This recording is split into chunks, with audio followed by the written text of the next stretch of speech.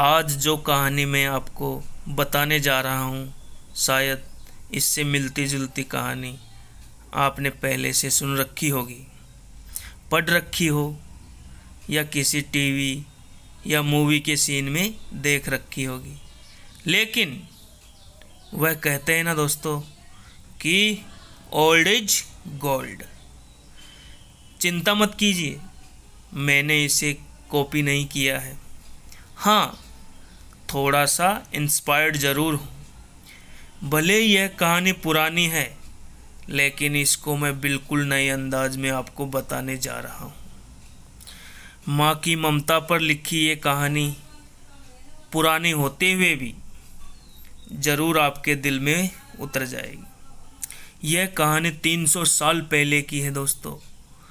एक महिला को शादी के 12 साल हो गए थे। लेकिन उसे संतान सुख नहीं मिला था। बच्चे को पाने के लिए उस महिला ने न जाने क्या क्या उपाय किए थे। डॉक्टरों के पास गई थी, बाबा भक्तों के पास गई थी, जिसने जिस मंदिर, जिस मस्जिद, गुरुद्वारा या चर्च में जाने के लिए कहा उस जगह पर गई थी। जिस भगवान का नाम लेने के लिए कहा, उस भगवान का नाम लिया था। और जितने उपाय या उपवास करने के लिए कहा, सब किए। कहते हैं ना दोस्तों, कि अगर दिल से और तन मन धन से कोई चीज़ चाहो तो मिल ही जाती है दोस्तों। इस महिला को भी उसकी तपस्या का वरदान उसके बेटे के रूप में मिल ही गया। बारह सालों का सुख बारह सालों का दुख, दर्द, पीड़ा और अपने बेटे का चेहरा देखते ही सुख, खुशी और संतुष्टि में बदल गया। लेकिन अभी शायद उसकी तपस्या बाकी थी। शायद भगवान को अभी उसकी और परीक्षा लेनी थी। जब उसका बच्चा एक वर्ष का हुआ तो एक दूसरी महिला ने उसका बच्चा चुरा लिया। सोचिए उस माँ की मनस्थिति क्या होगी, जिसने दुनिया में सबसे ज़्यादा जिस बच्चे के लिए अपनी ज़िंदगी जी थी, उससे उसका बच्चा ही छिन गया हो। ऐसे लगा जैसे किसी ने उसका बच्चा नहीं, उसके शरीर से उसकी आत्मा ही चुरा ली हो। उस दिन से उस माँ का जैसे खाना, पीना, सोना सब छूट गया। उसे न भूख लगती, न प्यास, ना नींद आती, हार मान जाए, वह माँ कैसी? अपने बच्चे को ढूँढने में उसने ज़मीन आसमान एक कर दी। और आखिरकार उसने अपने बच्चे का पता लगा ही लिया। वह पहुँच गई उस चोर महिला के पास अपने बच्चे को वापस लेने के लिए। जब बच्चे की माँ ने उस चोर महिला से अपने बच्चे को वापस पाना चाहा तो वह महिला ऐसा जताने लगी जैसे वह उसका खुद का बच्चा हो। जब बच्चे की माँ को लगा कि किसी भी तरह से इस बात बनती नज़र नहीं आ रही है, तब वह उस मुद्दे, इस मुद्दे को राजा के पास लेकर गई।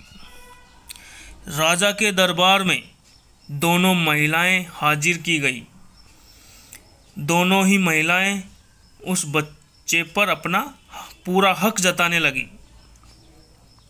राजा और उसके सभी दरबारी काफ़ी आश्चर्यचकित और हैरान हो गए, क्योंकि बच्चे की सच्ची माँ को पहचानने का के लिए उन्होंने जितने भी सवाल बच्चे के बारे में दोनों ही महिलाओं से किए, जो उसकी आदतों, उसकी पसंद या उसके निशानों के बारे में थे, दोनों ही महिलाएँ उसका सही सही जवाब दे रही थी। जब इस समस्या का समाधान निकलता नज़र नहीं आया तो राजा ने अपने खास और सबसे समझदार मंत्री से इसका निराकरण किया, करने के लिए कहा। मंत्री ने बिना एक मिनट की देरी किए तुरंत राजा से कहा कि महाराज, मुझे लगता है कि यह दोनों ही इस बच्चे की माँ है। इन दोनों का ही इस बच्चे पर बराबर का हक है।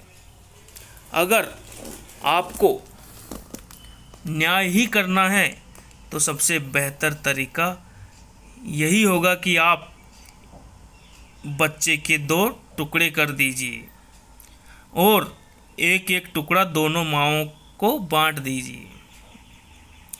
मंत्री की ऐसी बात सुनकर राजा के साथ साथ सभी दरबार में हाजिर सभी लोग उनकी तरफ़ आश्चर्य से देखने लगे। राजा ने सोचा कि मंत्री की ऐसी मूर्खतापूर्ण बातों के पीछे ज़रूर कोई रहस्य होगा। वह बिना सोचे समझे ऐसी बात कभी नहीं कर सकते। राजा ने तुरंत अपने सिपाहियों से कहा कि मंत्री की बात पर अमल किया जाए और इससे इस बच्चे के दो टुकड़े कर दिए जाए। बच्चे की असली माँ ने यह फैसला सुनते ही राजा के पैर पकड़ लिए और बोली, महाराज, मुझ पर इतना जुल्म मत कीजिए। आप चाहे तो बच्चे को, उस महिला को दे दीजिए, लेकिन उसके दो टुकड़े मत करिए महाराज, और मारिए मत। मेरा बच्चा मेरे पास नहीं रहा तो चलेगा। इस दुनिया में तो रहेगा। मंत्री जी ने राजा से कहा, महाराज इस बच्चे की असली माँ यही है और जो वहाँ पर शांत खड़ी है, वह है चोर। राजा ने तुरंत उससे बच्चे को, उसके असली माँ को सौंपने के लिए कहा। उस चोर महिला को फांसी की सज़ा सुनाई। बच्चे की असली माँ को उस दूसरी महिला पर, जिसने उसका बच्चा चुराया था। दया आ गई, क्योंकि उससे मिलने के बाद उसे यह पता चला था कि वह भी उसी परिस्थिति से गुजर रही थी, जिससे वह बारह सालों से गुजरी थी। इस महिला ने अपने बांझपन के चलते अपनी गोद भरने के लिए उस बच्चे को चुराया था और चुराने के बाद भी वह उस बच्चे को अपने खुद के बेटे की तरह प्यार करती थी। बच्चे की असली माँ ने दरबार में विनती कर उस महिला को माफ़ करने के लिए कहा। आई होप दोस्तों, आपको ये कहानी ज़रूर पसंद आई होगी। यह कहानी है कि हमें बताती है, इससे हमें यह शिक्षा मिलती है दोस्तों, कि कैसे एक माँ अपनी औलाद के लिए कुछ भी कर गुजरती है। और यह भी सच बात है कि एक माँ का दर्द दूसरी, दूसरे माँ से ज़्यादा कोई नहीं समझता। आई होप आपको यह कहानी ज़रूर पसंद आई होगी। अगर पसंद आई हो तो प्लीज़ लाइक कर देना। चैनल पे नए हो तो सब्सक्राइब कर देना। और मिलते हैं ऐसी ही नई वीडियो में, नई कहानी के साथ। जब तक के लिए बाय बाय सी यू